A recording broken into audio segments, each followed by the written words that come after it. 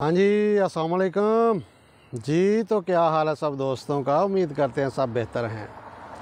हाजिर हैं जी एक नया वीडियो लेके, एक नई इन्फॉर्मेशन लेके और एक नया टॉपिक तो सीन आज का कुछ यूँ है, बहुत से दोस्तों के मैसेजेस कि आपकी कंपनी ने आपको रिहाइश किस तरह की दी हुई है?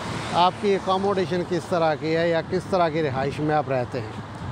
तो आज सोचा कि क्यों ना एक रिहाइश पे वीडियो अकोमोडेशन पे वीडियो बना के दोस्तों को बताया जाए कि हमारी रिहाइश किस तरह की है। जी, ये अपनी रिहाइश के बिल्कुल मैं बाहर खड़ा हूँ मेन एंट्रेंस पे। ये बड़ा रोड हमारे घर के मतलब जो हमारी अकोमोडेशन है, उसके बिल्कुल सामने से ये रोड गुज़र रहा है। ये इस तरफ़ देखें तो ये सिटी साइड है। ये इसका मेन एंट्रेंस कम्प्लेक्स ला पलाया इसमें यहाँ पर ये देख सकते हैं आप, जिम भी है। तो नेक्स्ट व्लॉग इंशाल्लाह हम जिम पे बनाएँगे जी। हमारा यहाँ पे जो अकोमोडेशन के नीचे जिम है, वो किस तरह का है। वो भी दोस्तों को दिखाएँगे। ये देखें, ये इसका पार्किंग एरिया है। बहुत बड़ी पार्किंग है, क्योंकि ये एक होटल है एक किस्म का। कंपनी ने ये रेंट पे लिया हुआ है। और ये किस्म का होटल है, ये पार्किंग एरिया ये सारी गाड़ियाँ जो ये कस्टमर्स की हैं मतलब जो यहाँ पर रेंट पे रह रहे हैं। तो हमारी कंपनी ने ये जो फ्रंट वाला एरिया सारी गाड़ियाँ, ये जो लोग यहाँ पर रेंटल रह रहे हैं, ये उनकी गाड़ियाँ ये फ्रंट वाला जो एरिया है, ये हमारी कंपनी ने मतलब लिया हुआ है रेंट पे। नीचे वाला पोर्शन भी रेंट पे है और ऊपर वाला भी। आज क्योंकि ये संडे है, जिस वजह से बाकी सारी लेबर जो लोकल है यहाँ की, वो वापस अपने घरों को गए हुए हैं। यह मेन एंट्रेंस ही है, लेकिन हम ऊपर दूसरे फ्लोर पे रह रहे हैं। तो इसलिए हमको जाना पड़ेगा ये सीढ़ियाँ चढ़ के। ये सीढ़ी चढ़ के ऊपर। इसके बाद ये नीचे वाला फ्लोर भी हमारी कंपनी के पास रेंट पे और ये दूसरा फ्लोर भी। और ये यहाँ पे देखें, ये जो रेड कलर का नज़र आ रहा है, ये सारा यहाँ पे नीचे जिम है। नेक्स्ट ब्लॉग इंशाल्लाह हम जिम पे बनाएँगे। ये देखें जी, ये हम सेकंड फ्लोर पे खड़े हैं। ये हमारा पार्किंग एरिया ये सामने बड़ा रोड ये साथ में ग्राउंड खाली पड़ा हुआ है। यहाँ पे कुछ भी हम खेल सकते हैं क्रिकेट वगैरह, लेकिन अभी खेलते नहीं हैं हम। और ये हमारा जिम वो आगे स्विमिंग पूल है। उसकी भी वीडियो इंशाल्लाह एक दिन बनाएँगे हम। आज तो कुछ भी नहीं, यहाँ पर बहुत रौनक होती है। एंट्रेंस है। ये हम एंटर ये दूसरा डोर एंट्रेंस उसके बाद ये वॉशिंग मशीन हमको कंपनी ने दी हुई है। ये जिस होटल में हम रह रहे हैं, ये वॉशिंग मशीन उनकी है, अपने कपड़े यूनिफॉर्म वगैरह धोने के ऑटोमेटिक है। कपड़े डाल दो, धुल जाएँगे। इसमें ये एक नंबर रूम दो नंबर रूम तीन नंबर रूम और और ये हमारा पाँच नंबर रूम ये चार नंबर में यहाँ पर एक लोकल फैमिली रह रही है, जो कि रोमन है रोमानिया के हैं। ये जी हमारा रूम हमारे रूम में ये मेरा बेड ये बेड मेरा है, ठीक है? ये एक बेड लगा हुआ है, ये टेबल वगैरह रखे हुए हैं और एक ये बेड है। इसके बाद यहाँ पे जैसे ही इंटर, एक टेबल ये है खाना खाने के लिए वगैरह। हमारा रूम के अंदर ही किचन है, ठीक है? ये किचन जी हमारा, ये ऊपर इसके सारे रैक बने हुए हैं और ये चीज़ ये किचन में हमारा जो सिंक वगैरह, सिंक और ये फ्रिज।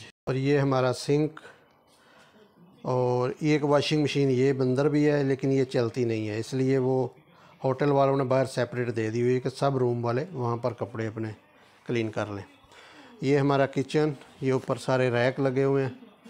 उसके बाद ये एक बहुत बड़ा टीवी भी हमारे रूम में, ये देखें फुटबॉल मैच चल रहा है अभी।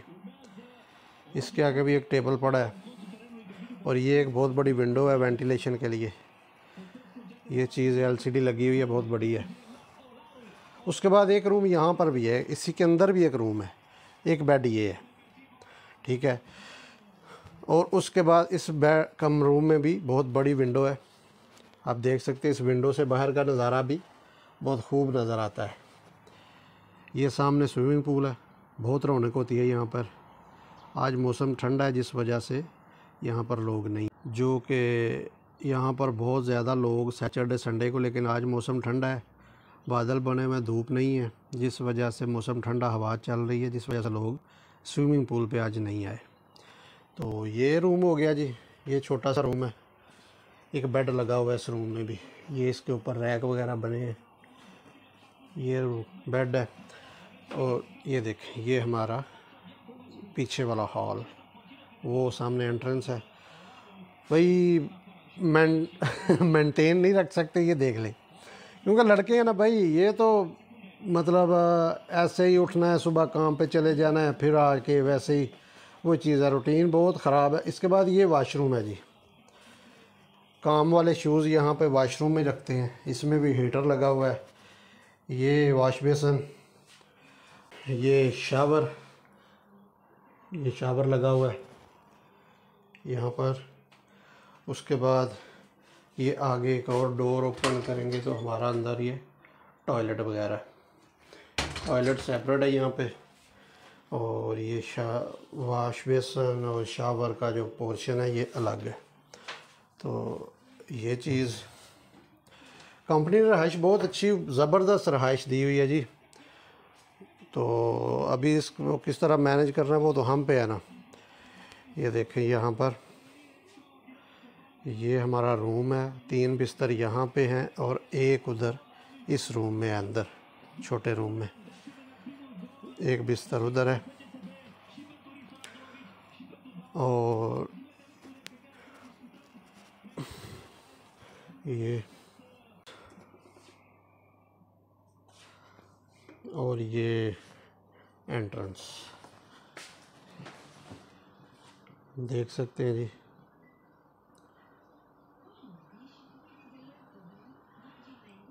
काफ़ी माशाल्लाह खूबसूरत है, टेंशन नहीं है किसी किस्म की। बहुत मज़े से रह रहे हैं। कोई टेंशन नहीं है, इंटरनेट लगा हुआ है। सबसे बड़ी जो सहूलत यहाँ पे देखने को मिलती है, हर जगह पे इंटरनेट लगा हुआ है। ये एक्चुअली एक होटल है, ठीक है?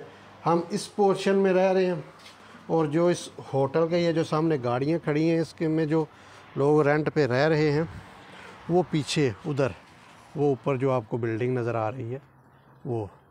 उधर रह रहे हैं। तो ये एक्चुअली बहुत बड़ा होटल है, वो स्विमिंग पूल ये जिम तो ये चीज़। ये वो सीढ़ियाँ जो कि हम चढ़ कर आते हैं ऊपर सेकंड फ्लोर पे या नीचे वाले फ्लोर पे भी कंपनी के लोग हैं। लेकिन ये मज़ा यहाँ पे ये है कि एक रूम में दो या तीन लोग रह रहे हैं। वो अरब की तरह नहीं है कि आप एक रूम में दस दस, बारह बारह लोगों को घुसा दें। दो, तीन लोग रह रहे हैं एक रूम में। ठीक है? तो मज़ेदार मौसम है ये साथ में बिल्डिंग्स हैं जो कि यहाँ पर फैमिलीज़ रह रही हैं। रेंटल एरिया है और ये ऊपर सारा सिटी इधर। है तो मज़ेदार सिस्टम है जी, इंशाल्लाह मज़ा आ रहा है।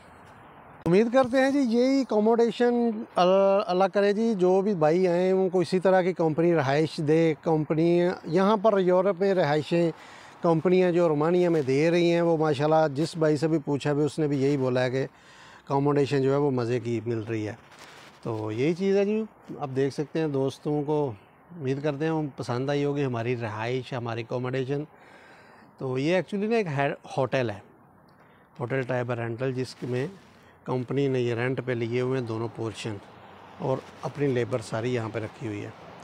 तो मिलते हैं जी किसी नई वीडियो में एक नया टॉपिक एक नई इन्फॉर्मेशन लेकर। चैनल को सब्सक्राइब कीजिए और बेल आइकन प्रेस कर लीजिए। तब तक अपनी दुआओं में याद रखिए। अल्लाह हाफिज़।